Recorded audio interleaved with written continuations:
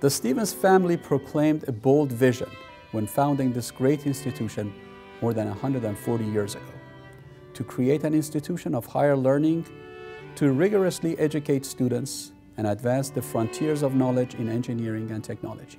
Their vision was prescient that technology would play an integral role in economic and human development and in improving life and society. And their vision was also enduring. They believed that the values and methods which guided Stevens in the industrial age would hold true in the digital age and beyond.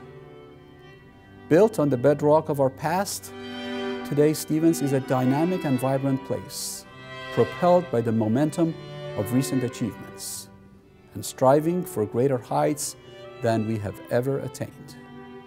Stevens is clearly a university on the rise. We climbed an unprecedented 13 spots in last year's rankings of national universities in the major college ranking survey, a far greater increase than any other university. We have also been recognized in the top 25 universities nationally in return on investment, a very important indicator of the value of a Stevens education in the marketplace. And we're closing in on the top 10 for technology talent, as indicated by both Wall Street and Technology and Insurance and Technology rankings. This upward trajectory in rankings and recognition is bolstered by a number of exciting developments on campus.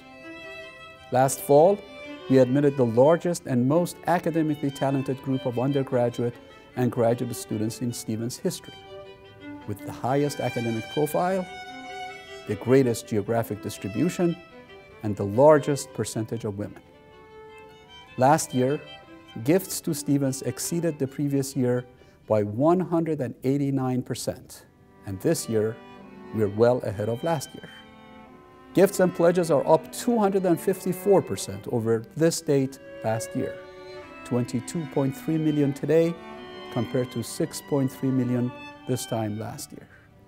We also received the largest single gift in Stevens history, a $10 million gift from class of 1983 alumnus and serial entrepreneur Greg Gianforte. The campus community and our extended Stevens family have become re-engaged with Stevens in a very significant and inspiring way. More than 300 members of the Stevens community participated in an intensive strategic planning exercise. Last August, the Board of Trustees, along with the Faculty Senate and the Alumni Association's Executive Committee, endorsed this bold and ambitious 10-year strategic plan for the university. Entitled The Future, Ours to Create, the strategic plan will position our university to be a premier, student-centric technological research university. We will grow in size, influence, and stature, regionally, nationally, and globally. Stevens education and research are defined by creativity, innovation, and a solution-oriented focus. And the strategic plan is built on our firm belief that Stevens has both the ability and the responsibility to increase our impact in the 21st century in areas of significant societal need.